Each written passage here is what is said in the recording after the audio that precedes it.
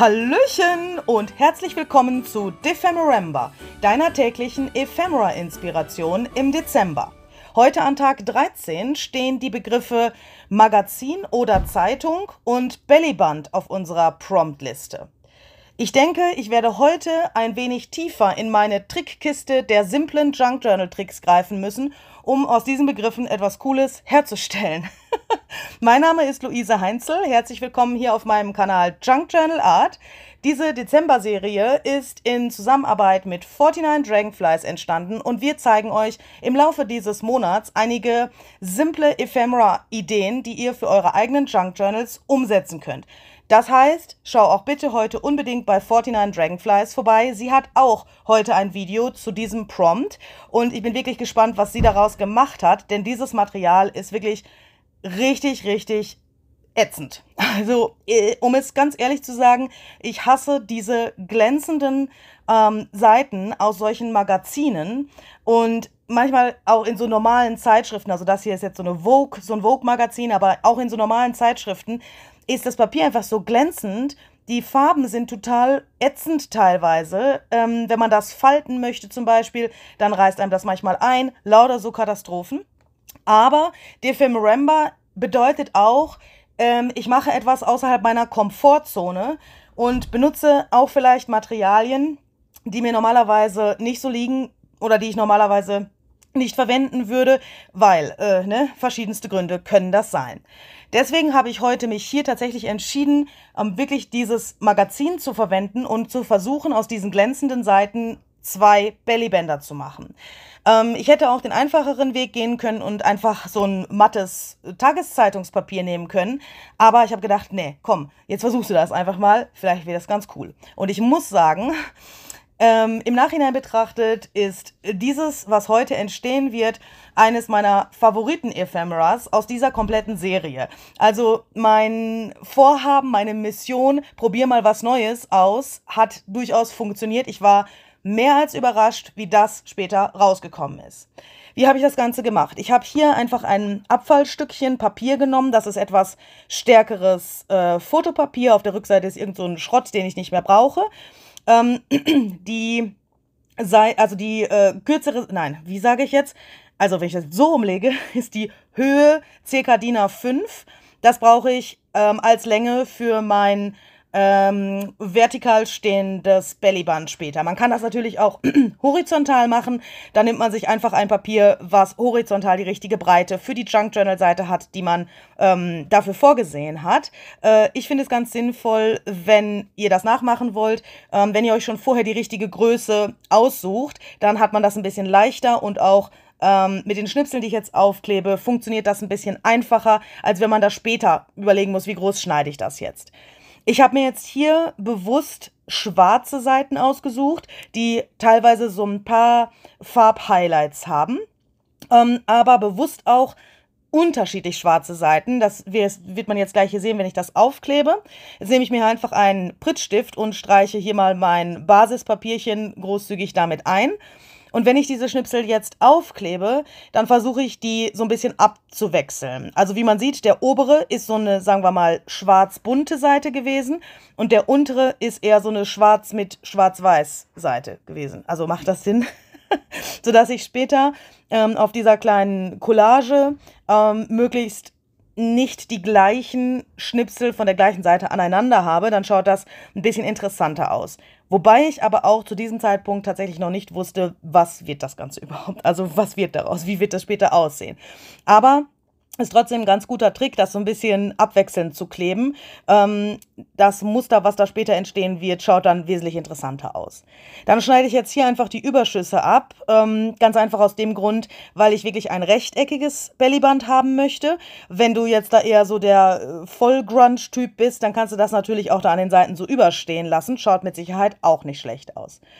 Dann verwende ich hier diesen 3D-Embossing-Folder. Ähm, den habe ich mal geschenkt bekommen von einer ganz, ganz lieben Zuschauerin aus Amerika. Ich bin total begeistert von diesem 3D-Ding. Das embossed jetzt sozusagen in ähm, verschiedenen Stufen. Also so ein normaler Embossing-Folder, der hat ja eigentlich zwei Ebenen, in Anführungsstrichen nur. Dieser hier hat aber mehrere so Ebenen und das schaut richtig genial aus. Und da habe ich jetzt einfach dieses Teil genommen und das da reingesteckt und äh, einmal embossed. So, als nächstes werde ich mir jetzt die Breite meines Bellybands überlegen und dieses ähm, Stück Papier hier in zwei äh, Stücke schneiden. Jetzt ist das Problem, dass dieser Embossing Folder natürlich wesentlich kleiner ist als diese Collage, die ich hier gemacht habe. Das heißt also, man muss jetzt beim Schneiden so ein bisschen überlegen, was möchte ich später noch damit tun. Dieser Rand hier zum Beispiel, ähm, der schaut natürlich nicht, wer weiß, wie edel aus. Ne? Also man sieht halt einfach, dass da der Folder zu Ende war. Äh, Finde ich jetzt nicht so geil. Ähm, falls du dir jetzt denkst, boah, shitty, shitty, ich habe hier keine so eine Embossing-Maschine, ähm, dann könntest du alternativ auch ähm, dir die Mühe geben und einen, zum Beispiel eine Schüssel oder ein Tablett mit so einem Muster drauf. Zum Beispiel, es gibt doch von Oma da diese Glasschalen oder so Schüsselchen, die so ein mm, Muster drauf, also nicht Muster, sondern so ein erhabenes, wie sagt man denn da? so eine erhabene Struktur haben. Ähm, wenn du dein Papier ein bisschen nass machst und das auf so einen strukturierten Teller oder so legst oder so ein Tablett, dann kannst du mit der Rückseite einer Schere oder mit so einem Dotting-Tool auch die Struktur äh, erreichen, eine ähnliche embosste Struktur, wie du hier hast, ähm, wie, wie ich jetzt hier habe. Da kannst du einfach mit dem Dotting-Tool so durchfahren und dann mühselig dieses Muster so abrubbeln. Das funktioniert auch. Hier hätten wir mal einen nächsten Buchstaben für das Gewinnspiel. Alle Informationen zum Gewinnspiel befinden sich auch unten in der Infobox. Falls du hier vielleicht neu bist, könntest du mal unten schauen. Da findest du alles, ähm, was du über das Gewinnspiel wissen musst. Du kannst immer noch teilnehmen. Dieses Gewinnspiel geht bis zum 25.12.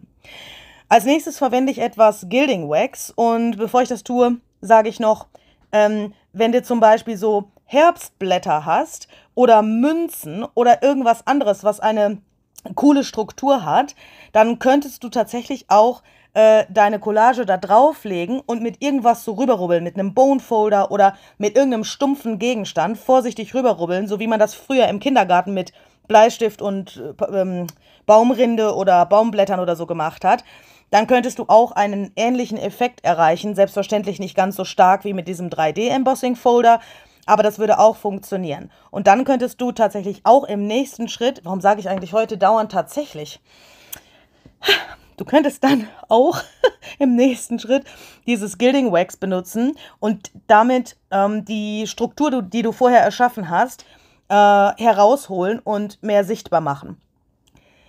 Dieser Effekt ähm, als ich das gedreht habe, ich habe dieses Video ursprünglich auf Englisch gedreht und ich mache jetzt das deutsche Voice-Over. Das heißt, ich weiß schon, was hier passiert und ich kann euch nicht mehr ähm, meine Originalreaktion und Überraschung über diesen Effekt mitteilen, weil ich bin kein Schauspieler, ja. Aber als ich das das erste Mal gesehen habe, habe ich gedacht, meine Fresse, also ganz ehrlich, ne, so unter uns gesagt, das war so ein krasser Wow-Effekt. Ähm, ich weiß nicht, ob euch das auch so geht, das ist ja sicherlich auch Geschmackssache mit dem Gold und so, aber ich hätte nie im Leben geglaubt, dass das so funktioniert. Ähm, als ich diesen Gilding Wax geschenkt bekommen habe, ehrlich, habe ich zuerst gedacht, uiuiui, soll ich jetzt wirklich Gold verwenden? Äh, ist schon längere Zeit her, dass ich den habe. Und dann irgendwann kam der Punkt, wo ich das das erste Mal ausprobiert habe. Ich glaube, das war damals bei meinem Briefmarkenalbum, was ich mir selber gebastelt habe.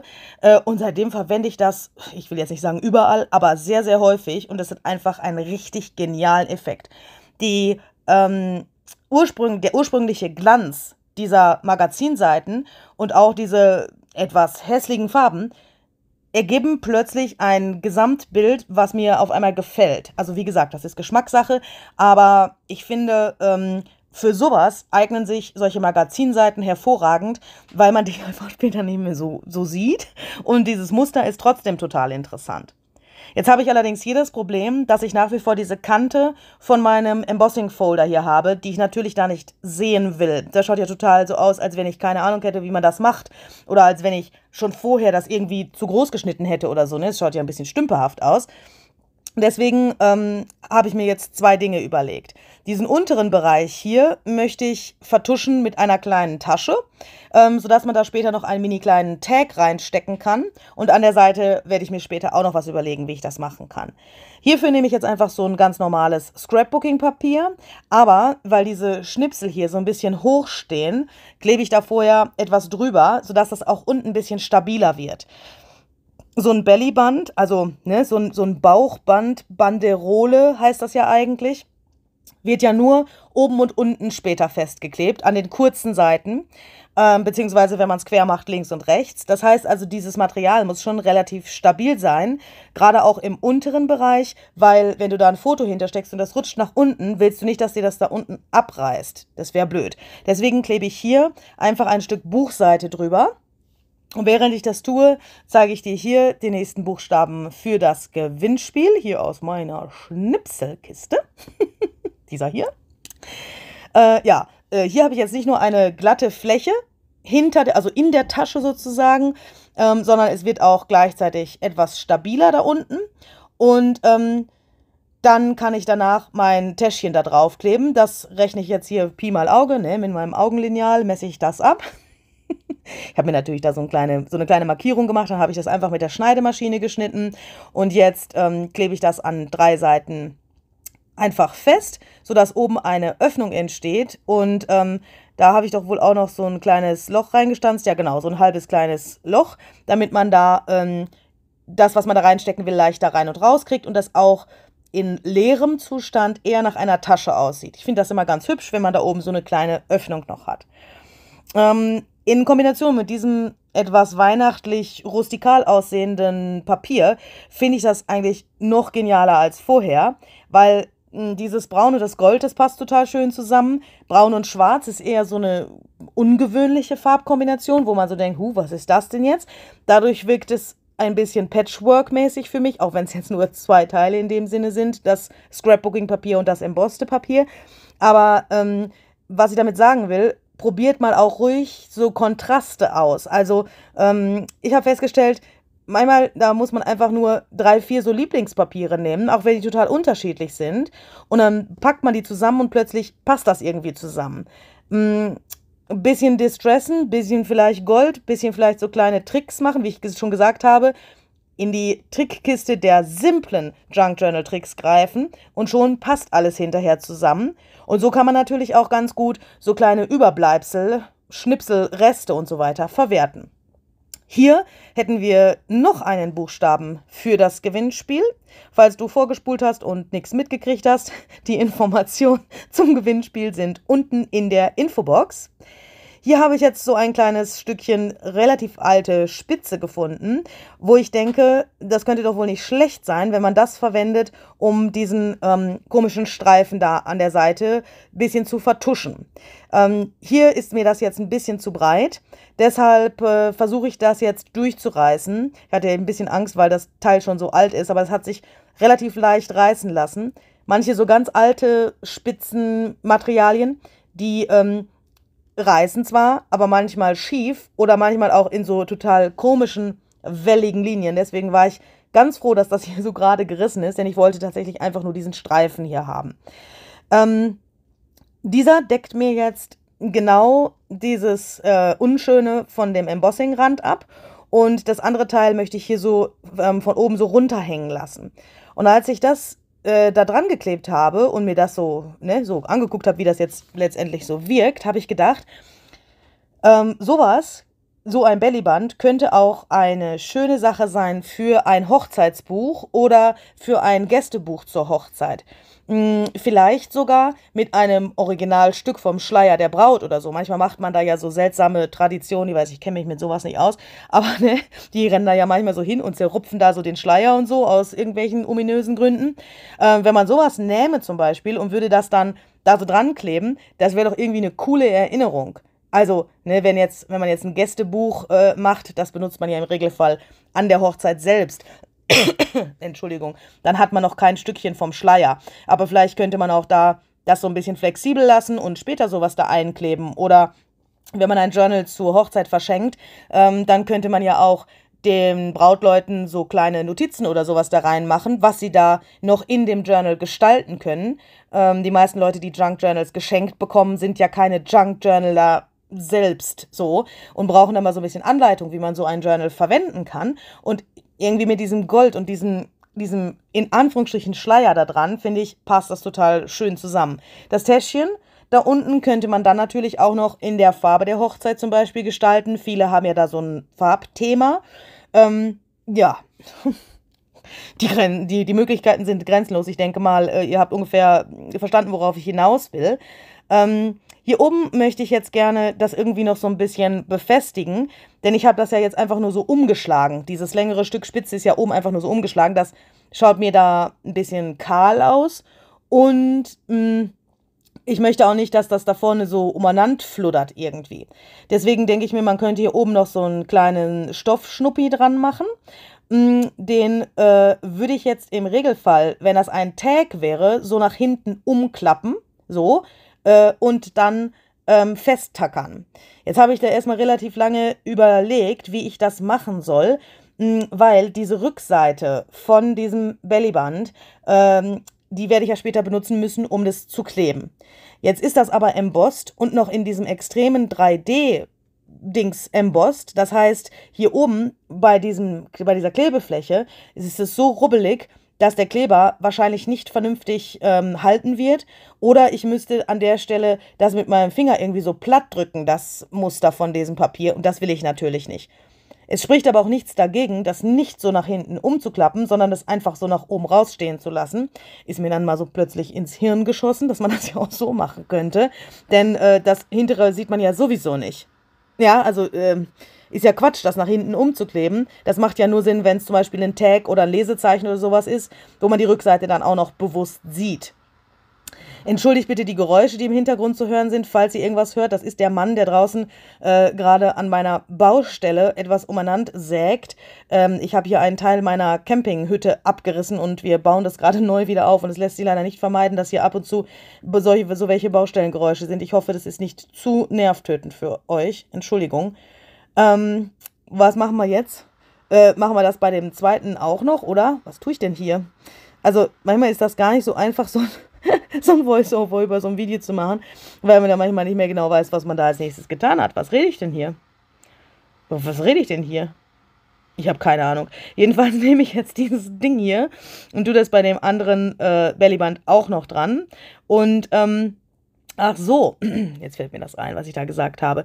Äh, wenn das eine festgeklebt ist, also die, die eine Hälfte von diesem, von dieser Spitze und das andere nicht, dann finde ich das total schön, wenn man da zum Beispiel irgendwas schreibt oder so.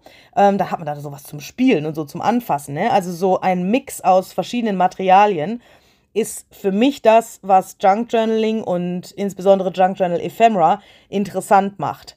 Ähm, ja, so. Äh, diese Tasche kann man jetzt verwenden, um zum Beispiel äh, einen kleinen Tag oder sowas reinzustecken. Äh, diesen zeige ich euch natürlich in diesem Video nicht, weil das war ja nicht Aufgabe hier ne, von unserer Liste. es war ja nur ähm, das Bellyband sozusagen die Aufgabe, aber da kann man natürlich jetzt reinstecken, was man möchte, kleine Zettelchen oder sonst irgendwas. Wenn du Anfänger bist, ein kleiner Tipp von mir, ähm, lass dieses bitte gut trocknen, bevor du etwas in die Tasche reinsteckst. Auch wenn der Kleber einen bereits trockenen Eindruck macht, kann es passieren, dass du den Tag reinsteckst und dann bleibt er dir in der Tasche stecken. Das ist mir am Anfang total äh, oft passiert, dass das geklebt hat einfach, oder? Also ich lasse das immer grundsätzlich mehrere Stunden trocknen, dass mir das nicht passieren kann. Und ähm, hier zeige ich euch jetzt noch anhand dieses Magazins, ähm, wie das aussehen könnte, wenn das auf einer Seite drauf ist. Also stellt euch bitte vor, das wäre eine Junk Journal Seite. Aber ich finde auch auf diesem Papier schaut es eigentlich gar nicht so schlecht aus. Äh, vielleicht komme ich sogar auf die Idee und reiße eine Magazinseite da raus und klebe die auf meine Junk Journal Seite als tatsächlich Hintergrund für dieses Bellyband. Ähm, wenn man das oben und unten festgeklebt hat an den jeweils kurzen Seiten, dann kann man jetzt äh, hier so eine kleine Buchseite oder ein Foto, einen Brief, irgendetwas dahinter klemmen, was dort aufbewahrt wird. So ein Bellyband ist auch immer eine gute Möglichkeit für so versteckte Schreibplätze ähm, wo man Dinge aufschreiben möchte, die nicht jeder sofort sehen soll, der vielleicht mal durch Zufall durch dieses Journal blättert, was du dir da gebastelt hast. Ja, hier haben wir es jetzt auch schon, ne? Was ist das hier mal so? Ähm, falls du irgendwie mitten ins Video gesprungen bist, sage ich es jetzt hier nochmal, dass du das nicht vergisst, ne? Ich weiß ja, Junk Journaler, die sind alle so ein bisschen vergesslich, da schließe ich mich nicht aus. Nur ein bisschen gaga sind wir alle. Ähm, vergesst bitte nicht, auf den Kanal von 49 Dragonflies zu schauen. Sie hat heute auch ein Video veröffentlicht zu dem heutigen Prompt, Magazin oder Zeitung und Bellyband. Ich bin sehr gespannt, was sie sich da ausgedacht hat. Vielleicht findest du da noch weitere Ideen. Ihre Videos sind alle auf Englisch, aber ich denke mal, ähm, selbst wenn du kein Englisch verstehst oder du das nicht anhören kannst, gibt ja Leute, die kriegen Gänsehaut, wenn sie Englisch hören, mach einfach den Ton aus und schau dir das trotzdem an, weil die Frau hat einfach geniale Ideen. Und als wir das hier so zusammen ausgetüftelt haben, habe ich schon festgestellt, das war eine richtig geniale Idee, das zu machen. Das macht nämlich riesig Spaß. Ich hoffe, es wird dir genauso gehen, wenn du das ein oder andere von dieser Serie hier ausprobierst und nachmachst. Mm, wenn du etwas auf Instagram oder so teilen möchtest, verwende bitte den Hashtag Defemorember. Und ich hoffe natürlich, wir sehen uns morgen wieder mit einer weiteren Idee von unserer Liste. Bis dahin, bleib kreativ. Tschüssikowski.